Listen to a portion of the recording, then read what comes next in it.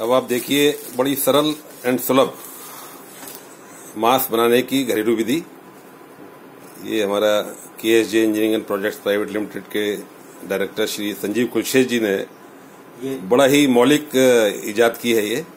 और मेरे ख्याल से ये इस क्राइसिस के टाइम में और इजीली अवेलेबल है। पूरे समाज में पूरे वर्ल्ड में इस वीडियो को आप फैलाइए। और और ये इजीली अवेलेबल है। इजीली अवेलेबल है। और ये देखिए सभी के घर में अवेलेबल है। एक रूमाल लीजिए इस तरह से बिछाइए और इसके ऊपर एक टिश्यू पेपर लगाइए एक टिश्यू पेपर लगा दिया देखिए किस तरीके से? ये लगा दिया। हाँ। इसको आप फिर फोल्ड करिए। जी। और ये इस तरह से फोल्ड हो गया। और इसको ये बाँध लीजिए। ये देखिए। इस तरह से बाँध लीजिए।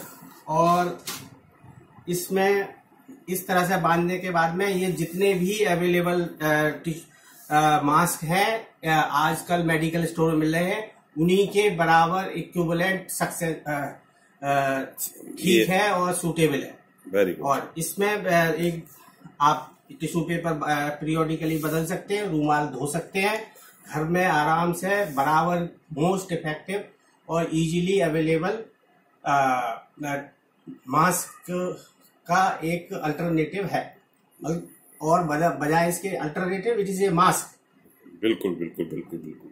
चलिए थैंक यू वेरी मच और इसका प्रयोग करें और इजीली अपने जहाँ जहाँ ज़रूरत पड़े वहाँ बहुत बहुत धन्यवाद संजीव जी। धन्यवाद सबका। और ये वीडियो आप जितने लोगों को पहुँचा सकते हैं पहुंचाएँ क्योंकि ये सबसे सरल और जिसमें कि आपकी कोई ऐसी लागत भी नहीं आनी कहीं ढूँढने नहीं जाना आप घर में इसको बना सकते हैं और डेली इसको साफ़ सुफ कर सकते हैं। डेली आप डेली एक दिन में दो बार या तीन बार टिश्यू पेपर जब आपको जैसा लगे चेंज कर सकते हैं। नमस्कार। नमस्कार धन्यवाद।